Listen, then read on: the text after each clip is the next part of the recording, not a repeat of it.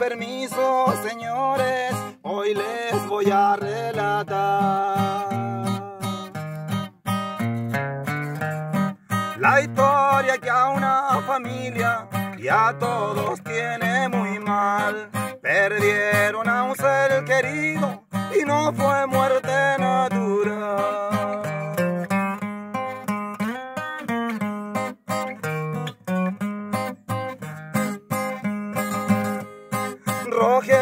Castro, su nombre, fue humilde y trabajador. Él vivía en Villa Prat, en la séptima región.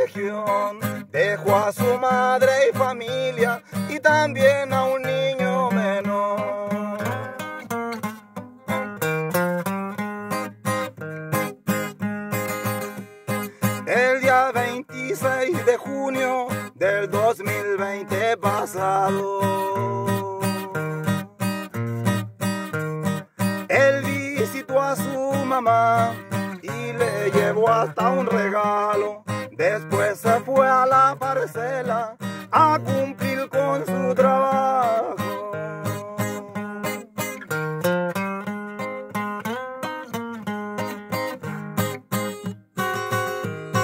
Ese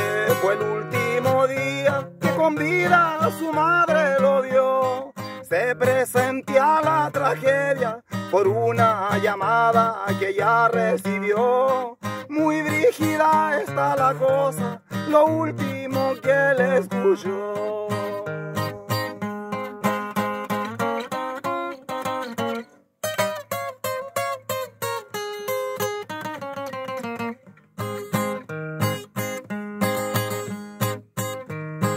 El 29 de junio, como a las 12 del día.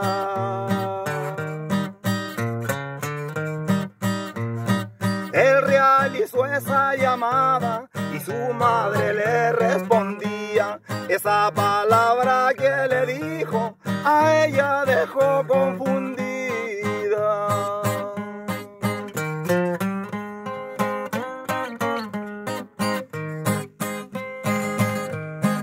Era un día tormentoso y llovía sin parar. Extrañaban a Rogelio y lo empezaron a buscar. No lo hallaban en ni una parte, avisan a la autoridad.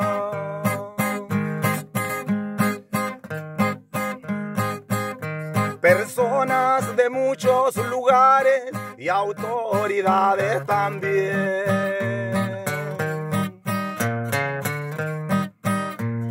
Lo buscaron 12 días hasta que dieron con él.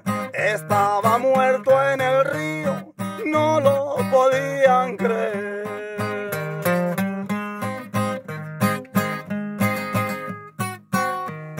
Lo que dijo la autoridad, que con una bala lo mataron y no conforme con eso, lo amarraron de pies y manos y lo llevaron al río y al torrente lo tiraron. Ojalá que desde el cielo les ilumine y de paz a todita su familia, en especial a su mamá y a ese niño que pregunta, ¿en dónde está mi papá?